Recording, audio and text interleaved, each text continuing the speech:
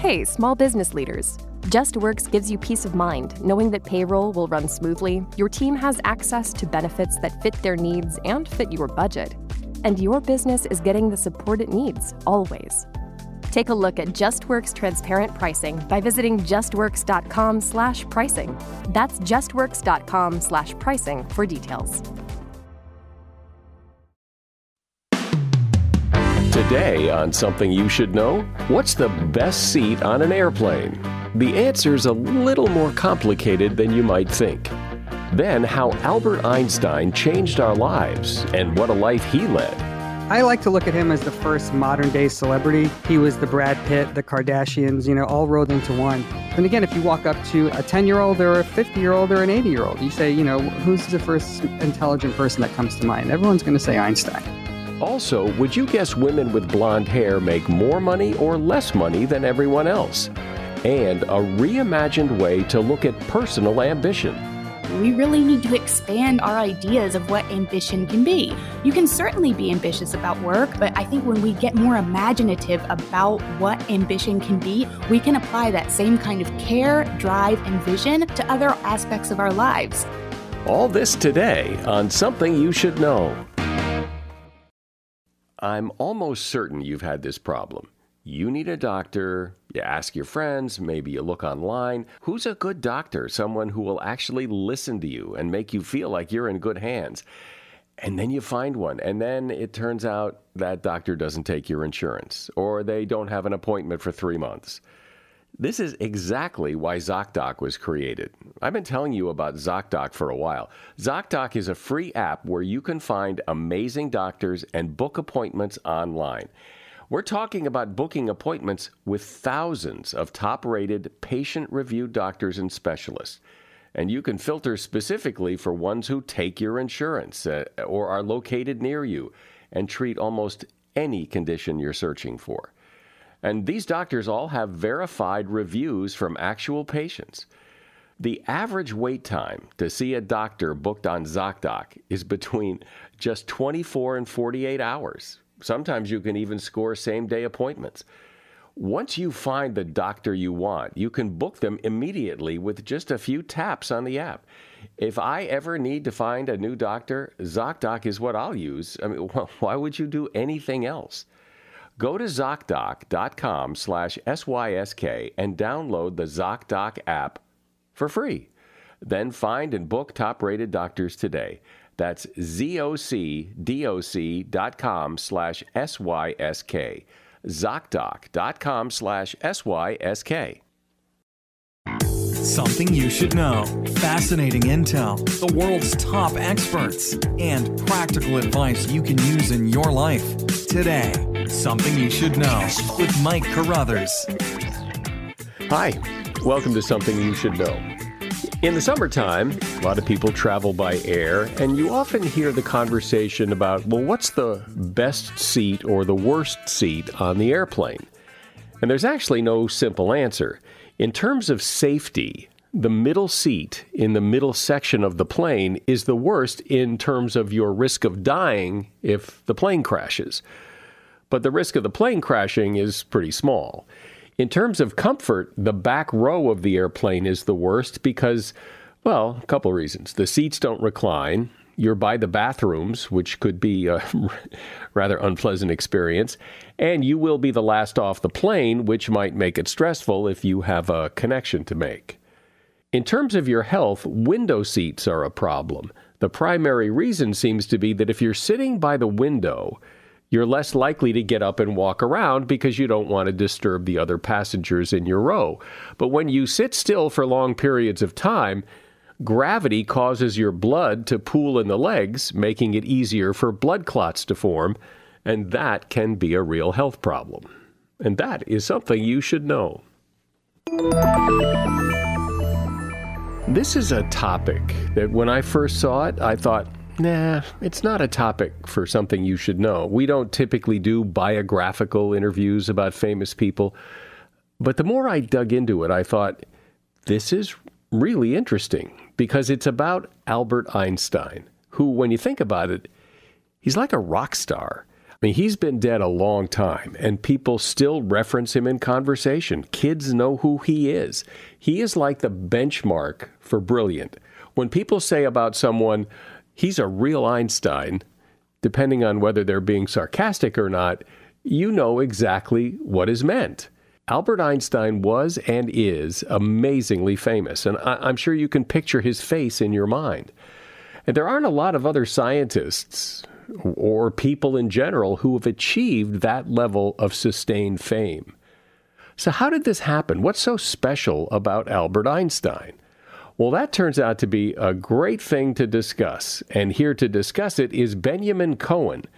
Benyamin, and this is pretty cool, he manages all of Albert Einstein's social media accounts. He is the voice of Albert Einstein on social media, and he has over 20 million followers. He's the author of a book called The Einstein Effect How the World's Favorite Genius Got Into Our Cars, Our Bathrooms, and Our Minds. Hi, Benyamin. Welcome to Something You Should Know. Uh, hey, Mike. Thanks for having me on. So, how did you, I mean, you're a, a relatively young guy, how did you uh, get apparently into the whole Einstein thing and end up managing his social media accounts? I was in college and I read a book about Einstein's brain, specifically about when Einstein died in 1955, the pathologist performing the autopsy stole, cracked open Einstein's head and stole Einstein's brain.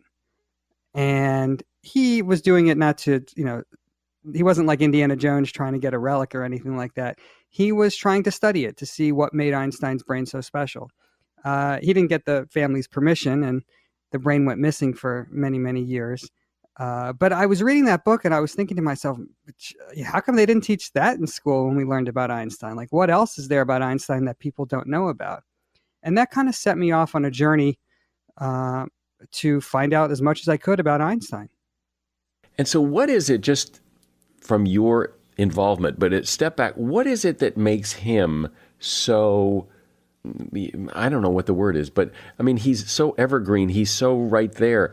I mean, there's a lot of smart scientists. What makes him so special that he stands out years after his death? The, what I mean, is he just that much smarter than everybody else? I like to look at him as the first modern day celebrity. He was the Brad Pitt, the Kardashians, you know, all rolled it, rolled into one, you know, of his era. He was the most famous person on the planet, and I think you know, many people did not understand, the average Joe did not understand what he was talking about, but he had this sweet, genteel, grandfatherly quality. He always had a pithy quote.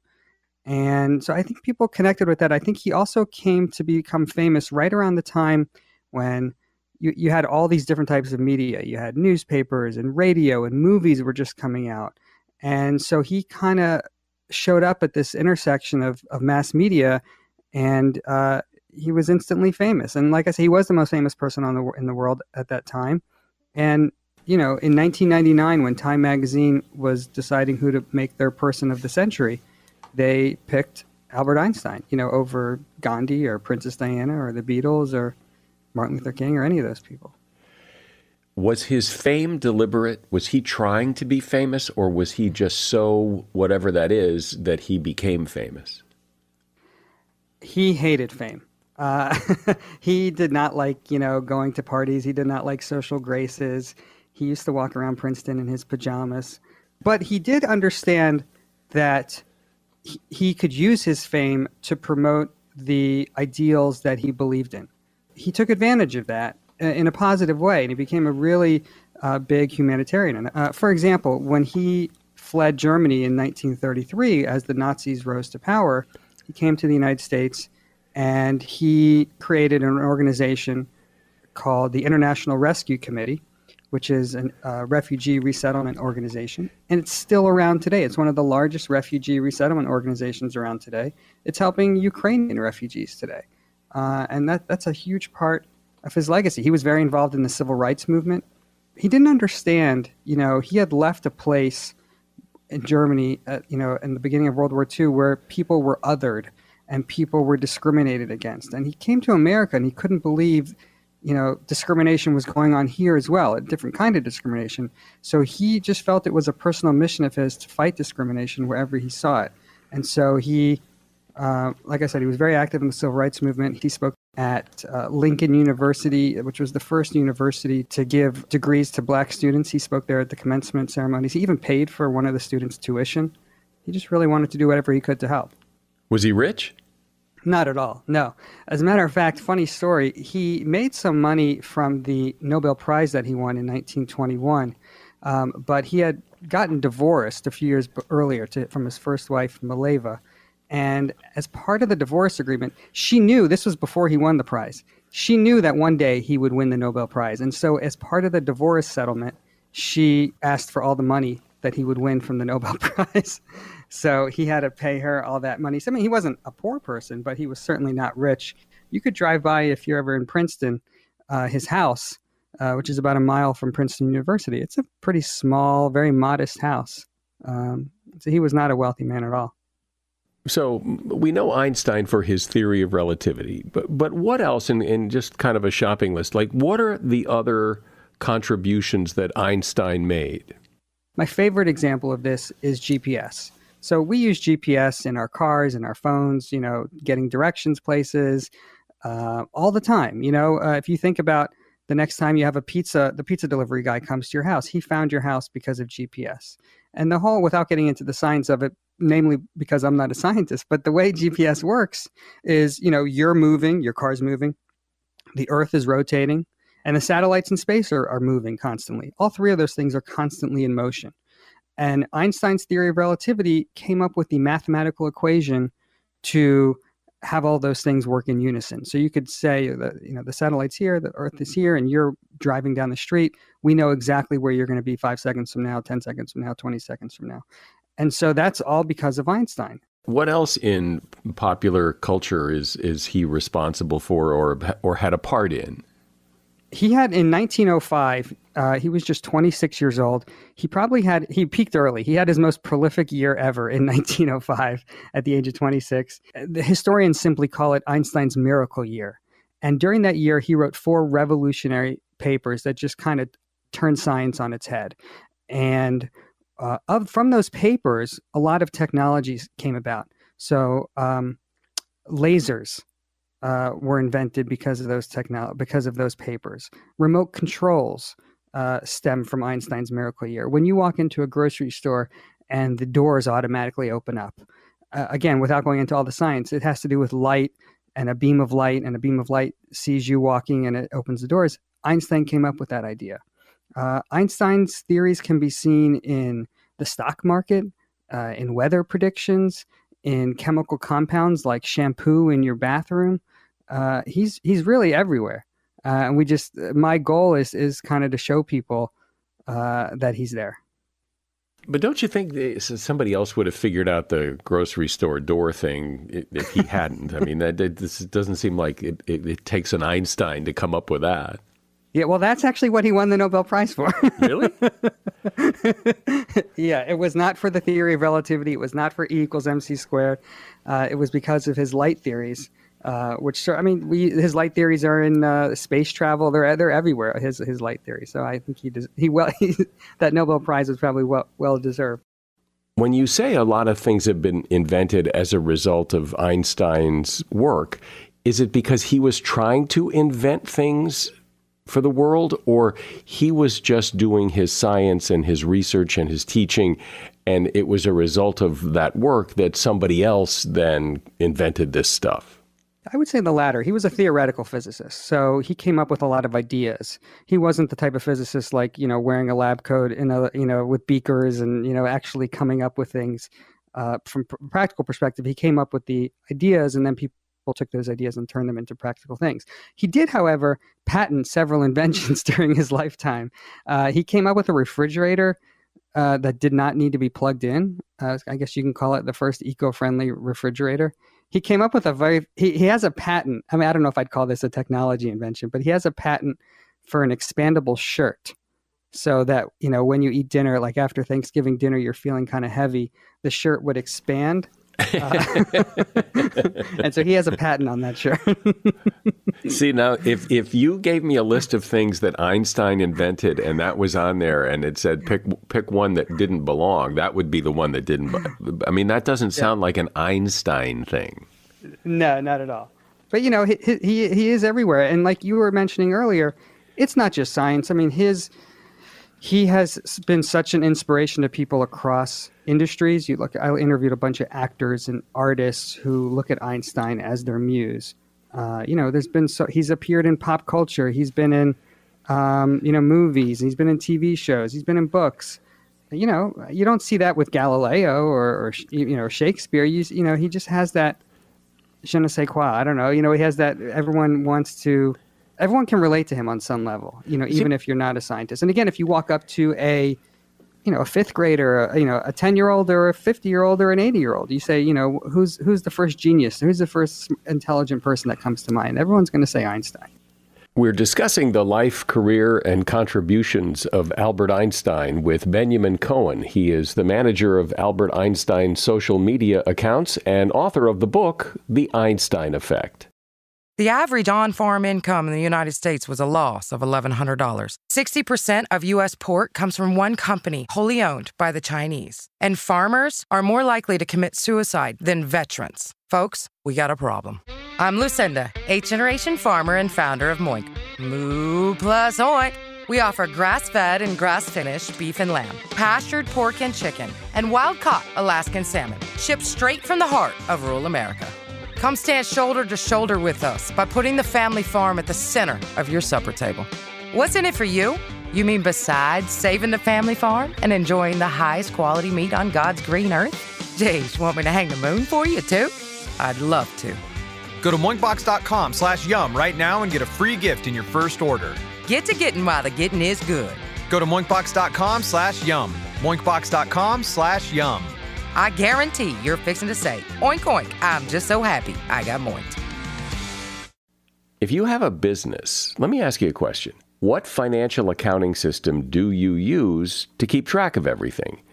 If it's not NetSuite by Oracle, you need to listen to this because as a business owner, I know that NetSuite is the top tier business financial system, and they have just rolled out the best offer I've ever seen.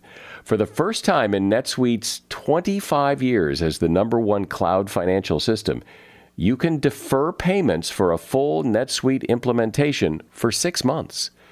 That's no payments and no interest for six months. NetSuite is number one because they give your business everything you need in real time, all in one place, to reduce manual processes, boost efficiency, build forecasts, and increase productivity across every department in your business. And when you have that kind of information right at your fingertips, man, that is powerful. And with this unprecedented offer, you can now have NetSuite for your business right now. More than 36,000 companies have already upgraded to NetSuite. If you've been sizing NetSuite up to make the switch, then you know this deal is unprecedented. No interest, no payments. Take advantage of this special financing offer at netsuite.com slash SYSK. netsuite.com slash SYSK to get the visibility and control you need to weather any storm. netsuite.com slash SYSK. So, Benyamin, it's that je ne sais quoi you were talking about that I, like I said, there's there's a lot of really smart scientists, and and yeah, maybe yeah. he was a little smarter than, but he's he's like this rock star, and I don't understand just exactly what that je ne sais quoi is, and and maybe that's why we're calling it a je ne sais quoi. exactly. So my my job is I am the official uh, manager of uh, Einstein's official social media accounts. So he has 20 million fans across Facebook, Twitter, and Instagram. He's probably the most active dead celebrity on social media. You know, uh, you know, John, John, Wayne is on Twitter, but he really doesn't have much to say. Uh, you know, Elvis is on Twitter, Marilyn Monroe is on Twitter, but none of these people have as many followers as Einstein. Einstein has more Facebook fans than Tom Hanks. And I think it's, you know, it, it is a je ne sais quoi. It's like, you know, why does he have 20 million followers and Elvis doesn't? You know, or Galileo doesn't, or Newton, or Tesla, or any of these famous scientists. people relate to him. I imagine, like other dead celebrities, his stuff must be very valuable. There's a large market for Einstein uh, relics at auction houses. So, you know, uh, Einstein's pipe goes up for auction at Sotheby's. Or I, I, a couple years ago, uh, the largest Einstein auction happened in Paris for it was over $11 million. It was uh, 20 pages of his scribbling about the g- general theory of relativity. Went for over $11 million. Whoa. Anyway, so I was, yeah. so I was writing a lot of stories about Einstein and the Einstein archives are located at, uh, most people really closely associate Einstein with Princeton University, which is where he spent the, you know, spent most of his career. But he was a founder, most people don't know this, he was a founder of Hebrew University in Jerusalem. He was one of the founders of that school. And he um, wanted to bequeath his estate to them when he died. So all of his papers, everything is at the Hebrew University in Jerusalem, and the archives they have eighty five thousand documents there. They have his original. Uh, they have the Nobel Prize there. They have the original uh, forty six pages of the theory of relativity. There's a grease stain on page forty five. I, I can tell you, but it's run by academics. The archives. They don't really. They're not really into social media. And so they were looking to hire someone who could post several times a day stories about Einstein. And so they saw I was writing all these articles and they, they offered me the gig. And so I've been doing that uh, for the past five, six years. I have been doing that.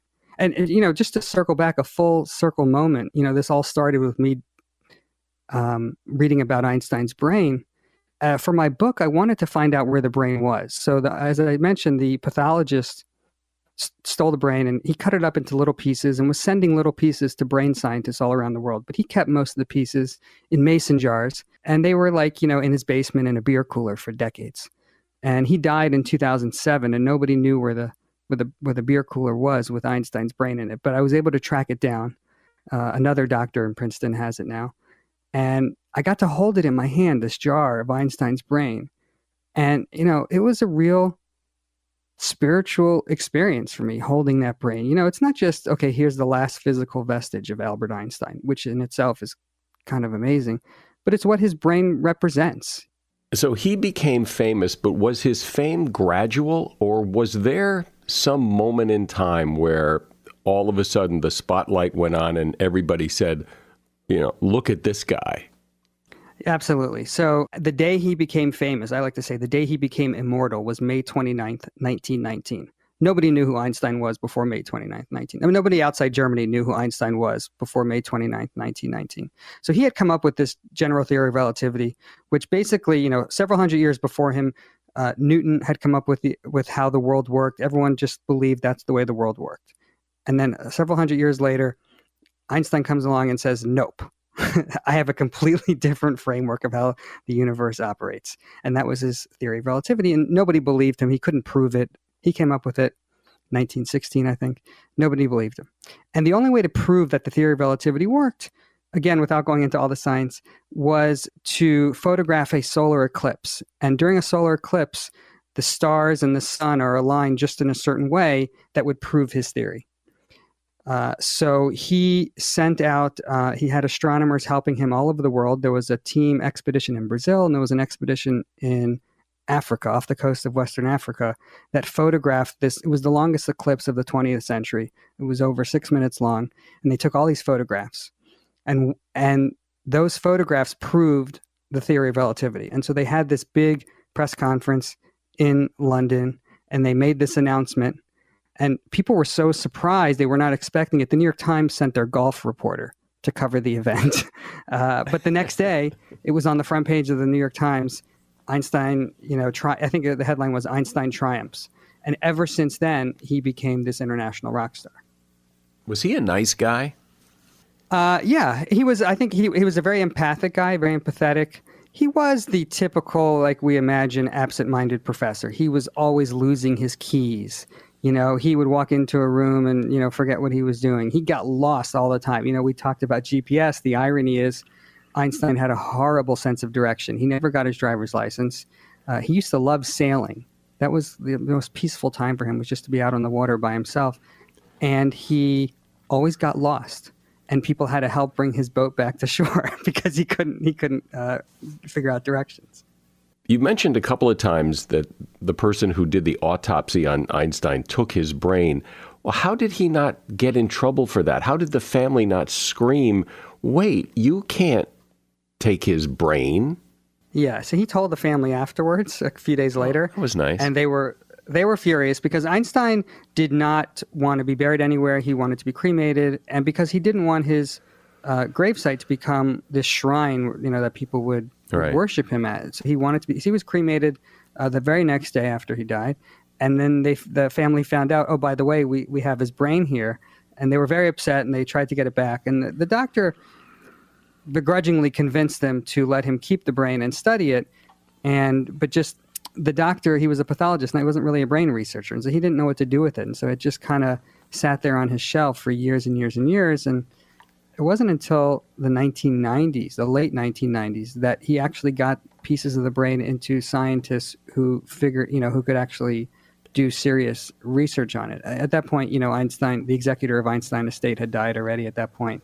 But this doctor, he, when I like I said, he died in 2007. He died feeling like he accomplished what he was trying to do because he, he felt vindicated because some scientists did see that Einstein's brain was unique. Well, he has become I mean, I guess he's always been since he's been around. This part of our culture, part of the vernacular. When you call somebody an Einstein, you, people know what you're talking about. When the the dog in Back to the Future's name was Einstein. Yeah, and speaking of that movie, Christopher Lloyd, who played Doc Brown, told me because uh, I interviewed him for the book as well. He told me that that character of Doc Brown was inspired by Einstein. You know, and that goes back to what we were saying earlier. It's not just scientists who are inspired by Einstein, but it's pop culture, you know, um, depictions of Einstein inspire people as well. Well, right. You look at that Doc Brown from Back to the Future, the hair, the white hair, the crazy hair. I mean, yeah. he, he wasn't trying to hide the fact that he was, and his dog's named Einstein. Yeah. I mean, it's, hello. Yeah, like I said, Christopher Lloyd said Einstein was his template for that character, and he also told me that that's the one character of all the movies he's been in. You know, people come up to him and say, it was an inspiration. You know, I decided to become a scientist because of your character in that movie. Well, what a great story, and and clearly it appeals and resonates with an awful lot of people. You've got 20 million social media followers. I mean, that's just that's just amazing. I've been speaking with Benyamin Cohen. He is the manager of Albert Einstein social media accounts. And he's author of the book, The Einstein Effect How the World's Favorite Genius Got Into Our Cars, Our Bathrooms, and Our Minds. There's a link to that book in the show notes. Thanks for coming on, Benyamin. Absolutely. This is I've been looking forward to this for a few weeks. Thank you so much. Hey, small business leaders. JustWorks gives you peace of mind knowing that payroll will run smoothly, your team has access to benefits that fit their needs and fit your budget, and your business is getting the support it needs always. Take a look at JustWorks transparent pricing by visiting justworks.com/pricing. That's justworks.com/pricing for details. Now is the time for America to chart its course to a green energy future. And we can't do it without clean hydrogen. But it's up to regulators in Washington to establish the right rules that advance clean hydrogen today. Clean hydrogen needs the full extent of the production tax credit to decarbonize heavy industry create high skilled jobs, and lead the global energy transition. Get the facts at cleanhydrogentoday.org. Paid for by the Fuel Cell and Hydrogen Energy Association. If there is one word in the English language that seems pretty straightforward, not controversial, even admirable, it's the word ambition. Having ambition is a good thing. It is the need to achieve. We're taught to be ambitious. We want our kids to be ambitious. But perhaps there is another side to ambition that we don't talk about much. And here to discuss that is Rainsford Stauffer. She is a journalist and speaker and author of a book called All the Gold Stars Reimagining Ambition and the Way We Strive. Hi, Rainsford. Welcome to Something You Should Know. Hi there. Thank you so much for having me. So, you talk about our productivity culture, which I sense I know what that means that we work to be productive, that that productivity brings success, which in many ways feels very natural, almost human nature. If you want to get ahead and be successful, you have to work hard, be ambitious. that seems to be the way it is. That's the way it has been. So, how do you see it?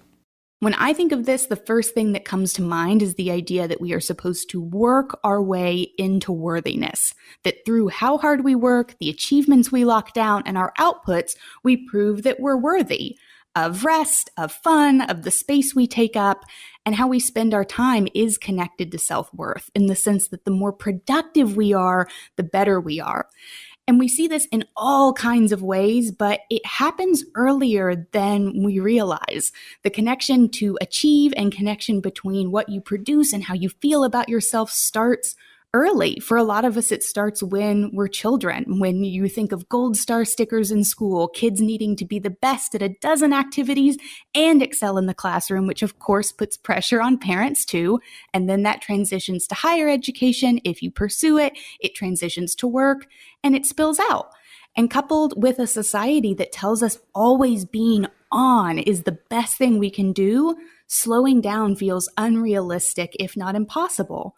And I think the hard part about that is it's a really broken idea of what it means to be productive. When we zoom out, that's a really narrow framing of what productivity can mean because taking care of yourself is productive, spending time with your loved ones is productive, getting better at a hobby that matters to you also productive, but those things are seen as extras or luxuries after we've worked our way into them first. What would be ideal then? What what is it that you're proposing that's different than the way things are? What are you suggesting that that there's a better way? A couple things here. I think if we're going to support people's ambition, that means giving them the resources and support necessary to pursue their ambitions on their own terms. I think relatedly, we really need to expand our ideas of what ambition can be. You can certainly be ambitious about work. I'm ambitious about mine. But I think when we zoom out and we get more imaginative about what ambition can be and what that can look like, whether that's spending time with your loved ones, whether it's practicing a hobby, whether it's getting ambitious about serving your community, we can apply that same kind of care, intention, drive, and vision to other aspects of our lives and make it more robust as a result. But what if you don't want to? What if because I can remember that uh, when I had my first job and it was in the radio business and I loved it and I lived it, breathed it, ate it, slept it. I there was nothing else I wanted to do. I loved it. What's wrong with that? I think if it worked for you, nothing's wrong with that. I think what I've seen play out in my reporting is that a lot of a narrow idea of success and what it means to be ambitious within those confines isn't working for a lot of people.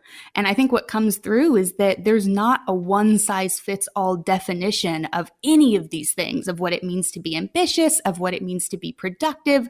I think if someone wants to pour their whole heart and their whole identity and their whole self into work, then that's a valid choice if it feels right for them.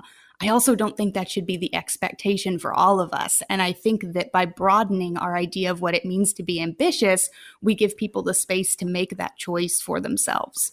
You really think that that there is this expectation that everybody excel in everything, and, and like who, who sets that expectation?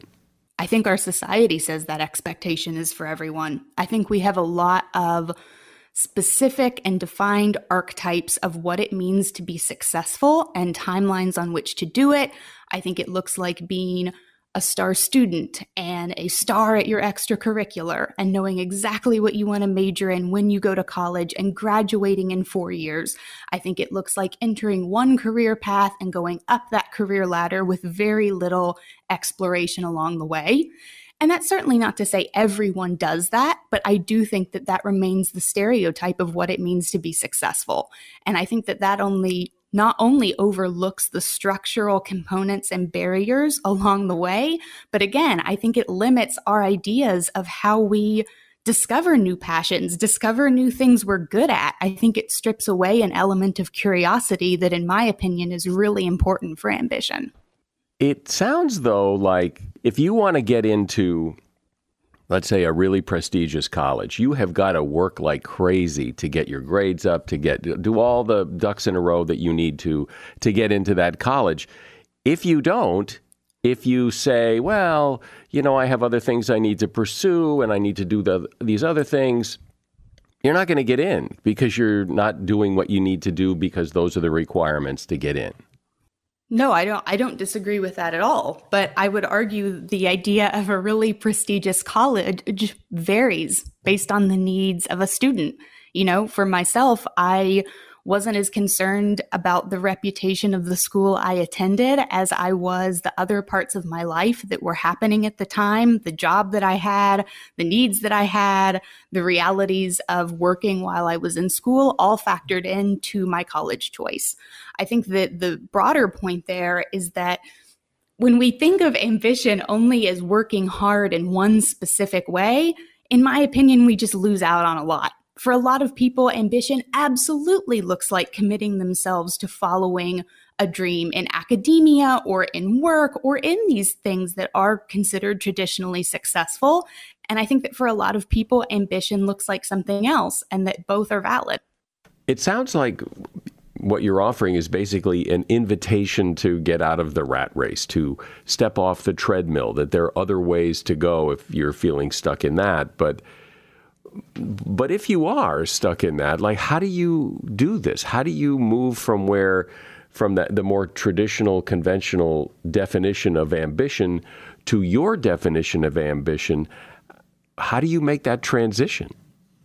Uh, that's a great question. Because a lot of our systems uphold one idea of achievement, it does feel very much like stepping off the wheel or kind of going against the grain to do something a certain way.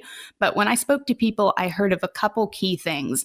Number one, instead of separating things out, like thinking, well, I'm going to work less, I'm going to do less. Something that I thought was really interesting was how many people talked about adding things in, that when they prioritized friendship and fun and hobbies and these things that we think of as kind of being on the sidelines of our lives, as being extras or afterthoughts, by centering them, it made them feel much more fulfilled, much more engaged, and more productive in those spaces.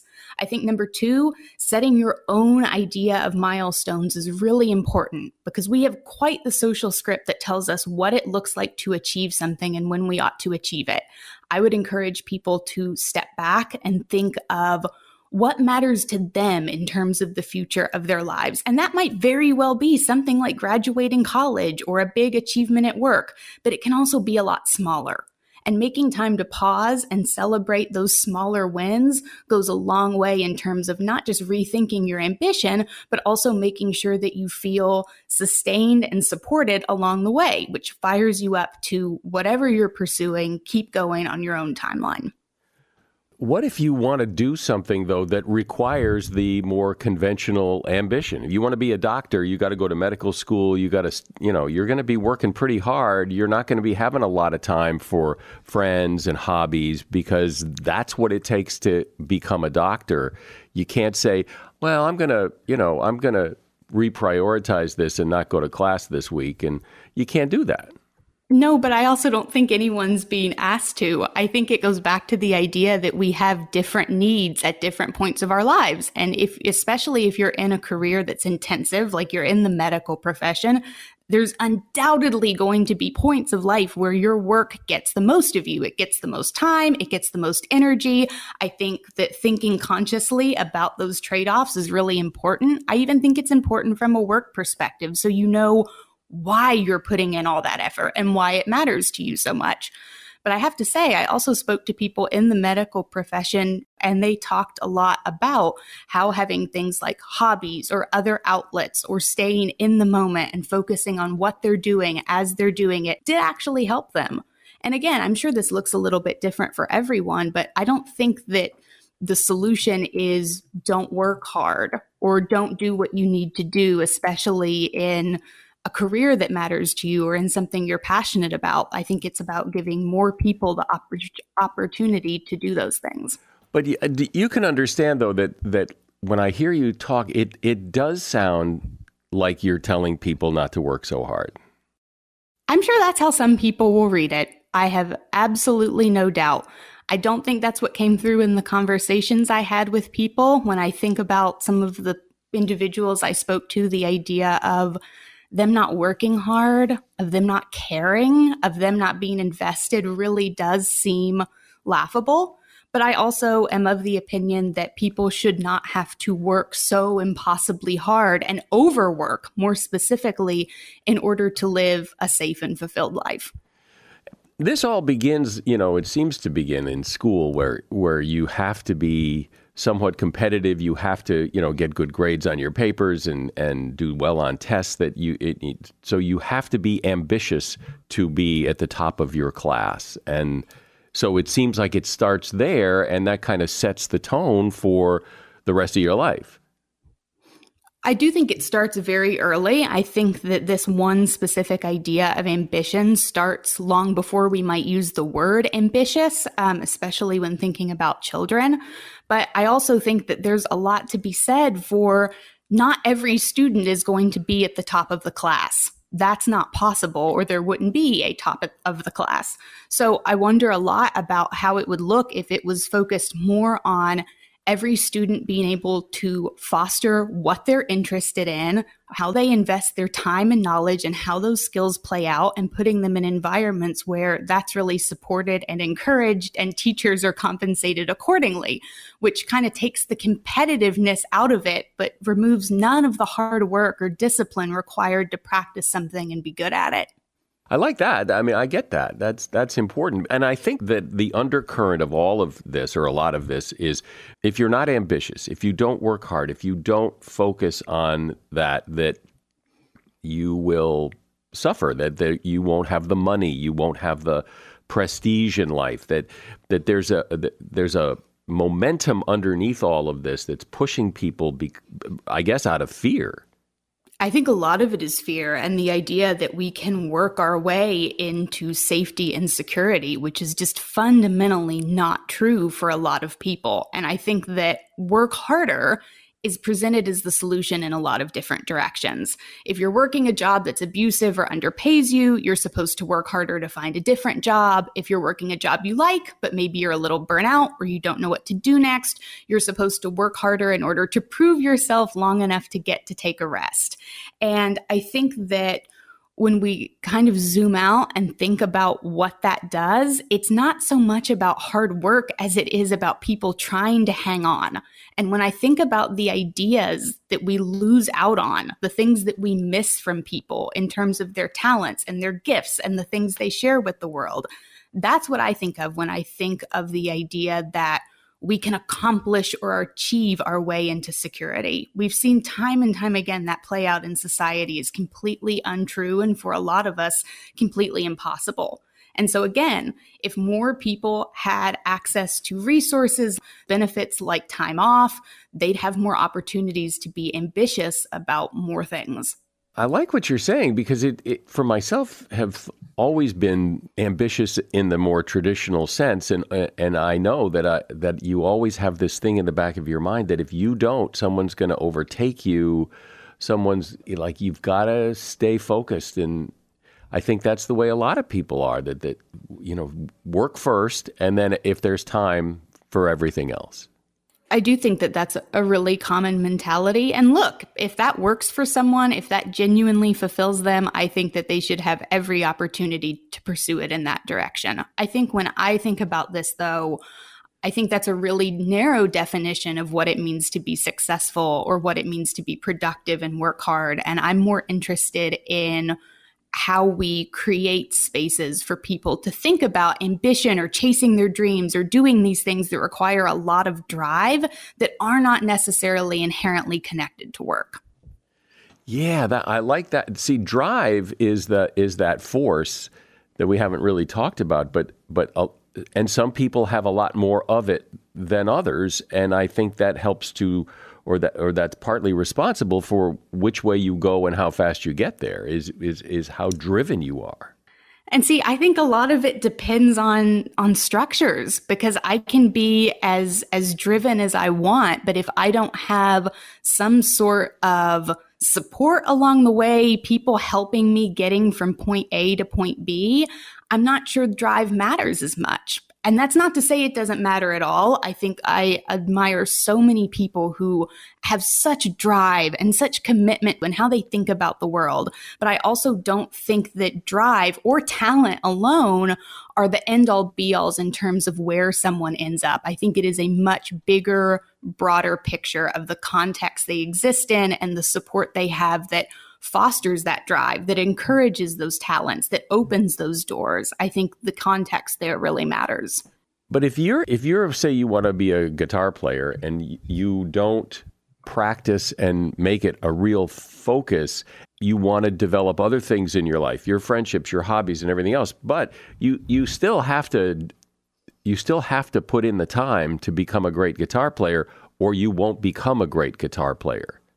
I think, of course, you have to put in the time and the effort. I, you know, I think about this in myself in terms of writing. I obviously really wanted to be a writer, and I spent a lot of time practicing that, fostering that skill set, trying to learn as much as I could, which is something I, I will be trying to do forever. Learn from every conversation, learn as much as I can, and figure out how to practice that in my own writing.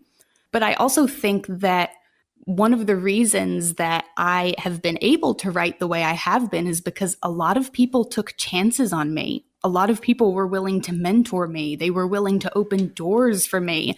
And so I don't think it was just about how much time and energy and effort I put in. I think that there was a lot of luck and a lot of grace from other people inherent in that. And again, depends on the individual. I can only speak for myself and the conversations that I had during my reporting, but pouring time into other things, thinking about the world differently because of the conversations I was having in those spaces made me, in my opinion, a better writer and a better thinker than I was before. And so I think a lot of the time, even if you're not focused specifically in a moment on practicing a concrete skill, a lot of the time the experiences you're having in your life come into play to foster that in very unexpected ways.